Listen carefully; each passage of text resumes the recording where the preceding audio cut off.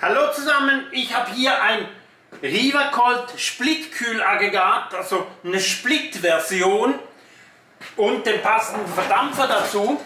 Das brauche ich, wenn ich eine Kühlzelle in einem Raum drin habe, ohne Fenster, ohne Abwärme, dass ich die Kühlmaschine extern setzen kann. Auch das ist nicht immer möglich. Aus diesem Grund habe ich hier ein Kühlaggregat. Ich nehme den Deckel weg. Das hat hier keinen Wärmetauscher drin, sondern wir haben hier ein wassergekühltes Kühlaggregat. Wir sehen hier, wir haben hier oben den Einlauf vom Frischwasser. Dann geht das hier über ein Mischventil, also ein Wassersparventil. Hier kann ich dann die Wassermenge einstellen. Die ist aber Temperatur- bzw. Druck gesteuert. Wird ein Wärmetauscher runtergekühlt und das Abwasser, das geht dann hier wieder oben raus. Warum brauche ich statt einer luftgekühlten Anlage eine wassergekühlte Anlage? Wenn ich dieses Teil irgendwo in einem Keller montiere, der keine Zuluft hat, im dritten Stockwerk, ich kann das Teil nicht rausstellen, sondern ich muss es in diesem Keller montieren und hier habe ich eine Wärmeleistung von 2000 Watt das ist dann so wie ein Heizlüfter, äh, den, der immer läuft, auch im Sommer. Und so muss ich die Wärme irgendwo wegbringen. Und bei diesem Aggregat kann ich das über Wasser. Das heißt, Wasser hat eine Temperatur vielleicht von 15 Grad. Hiermit kühle ich dann das Kühlaggregat runter. Weil ein Kühlaggregat kann ja nicht kühlen, das kann nur Wärme entziehen. Und zwar hier aus dem Kühlelement, da ziehe ich Wärme raus aus dem Kühlraum, dann wird es da weniger warm oder kühler und diese Wärme wird dann hier übers Wasser abgegeben. Und so kann ich irgendwo im Keller solch ein Kühlaggregat montieren. Der große Nachteil ist aber, ich brauche Wasser.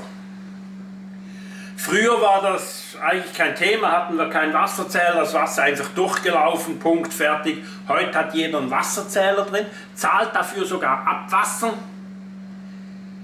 Es geht die Möglichkeit, dass man einen zweiten Zähler macht und nicht Abwasser bezahlt, sondern nur halt Frischwasser, aber da muss es separat abgeleitet werden ins Meteorwasser, das wieder getrennt. Aber in der Regel zahle ich dann für jeden Kubikmeter Wasser, der hier durchrennt, Wassergebühren und die gehen ins Geld. Nur, wenn keine andere Möglichkeit da ist,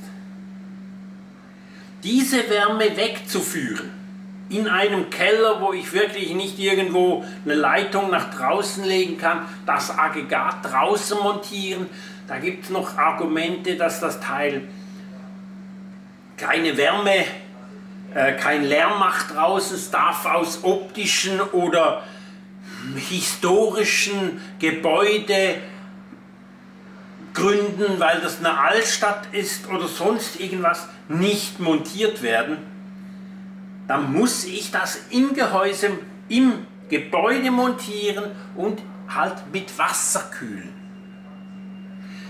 Ja, das ist ein wassergekühltes Kühlaggregat. Bemo ist ja der einzige Händler in der Schweiz, der von Rivacold Kühlaggregate bekommt, direkt aus Italien.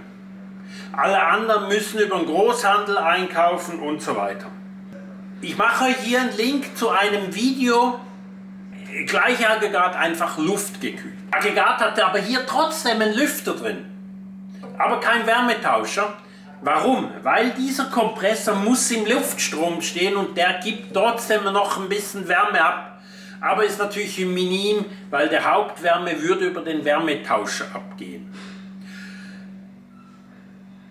Wemo ist der einzige Kunde von Rivacold in Italien.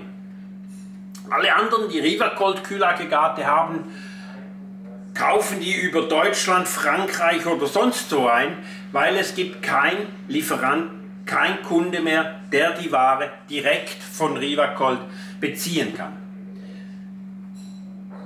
Ich mache euch hier einen Link zum anderen Kühlergregat, Eich luftgekühlt, wenn ihr kein Split stopfen wollt und hier die neue Stopferversion von Rivacold, die Bestserie, ist jetzt seit Anfang Jahr im Sortiment und ich wünsche euch einen schönen Tag.